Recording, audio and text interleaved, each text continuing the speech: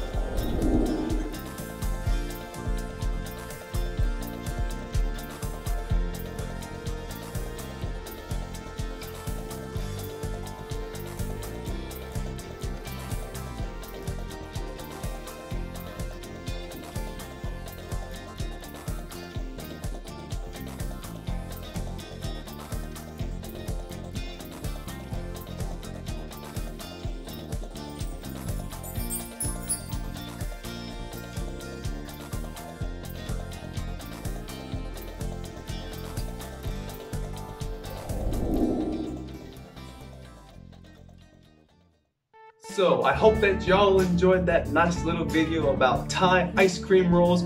Man, man, those things are delicious.